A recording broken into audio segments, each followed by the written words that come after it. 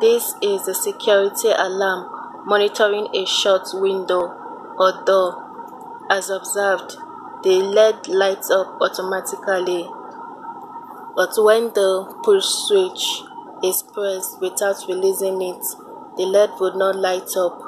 The LED will only light up when the push switch is not pressed.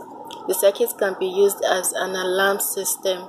For example, when a locked door or window is shut, this is just like a push switch being pressed, then nothing happens. However, when the door or window is broken open, this is just like the push switch is being released.